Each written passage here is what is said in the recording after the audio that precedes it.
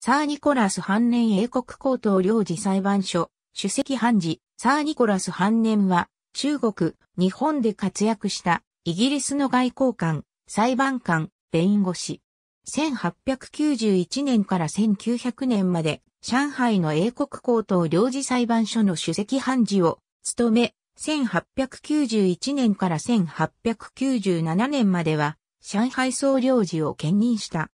1881年から1891年までは、横浜英国領事裁判所の判事を務め、この間に、ノルマントン号事件の裁判を担当している。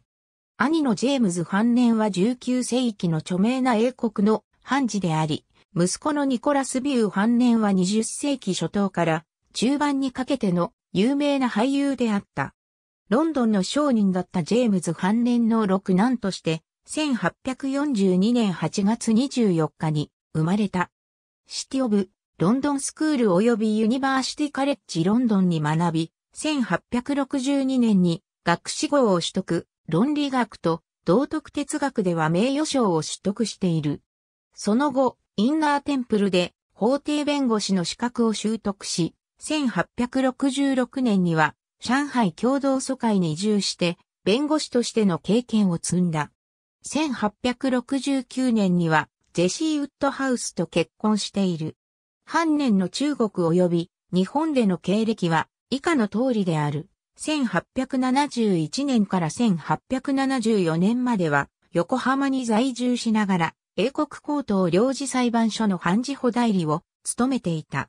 その後上海に戻り、しばらくは民間の弁護士として活動した。1878年に植民地における最高法務官に相当する最高法廷弁護士に任じられた。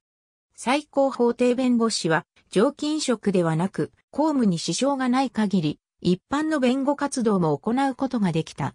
1881年、横浜領事裁判所の判事に任命された。しかし、上海の英国高等領事裁判所の首席判事に任命されたリチャード・レニーが到着せず、その間、高等領事裁判所の首席判事代理を兼任した。この横浜領事裁判所の判事時代に、ノルマントン号事件の裁判を担当している。1891年にレニーが引退すると、半年は高等領事裁判所の首席判事権、上海総領事に任命された。首席判事が総領事を兼任したのは、彼が最初で最後である。この兼任に関しては、上海在住の外国人から反対を受けた。半年の能力が問題視されたのではなく、カズトが判事と外交官任務を兼ねることの批判であった。1897年に総領事職は辞し、判事補と上海領事を兼任していたジョージ・ジェミーソンが総領事に任命された。半年は1895年7月18日にウィンザー城においてナイトの称号を受け、1897年にはジュビリーメダルを受賞している。1900年に主席判事を引退。上海を離れる予定の2週間前の同年4月27日に肺炎からの心不全で死亡した。葬儀は上海のトリニティ教会で実施された。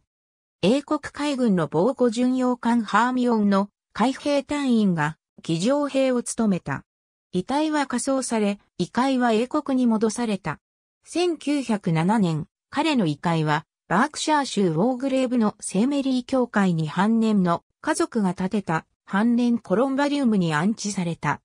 半年の公認の主席判事はハイラム・ショー・ウィルキンソンであったが、ウィルキンソンは横浜領事裁判所判事、上海最高法廷弁護士としても半年の公認を務めていた。上海には彼を記念した半年寺があったが、現在は海南路に名称変更されている。ありがとうございます。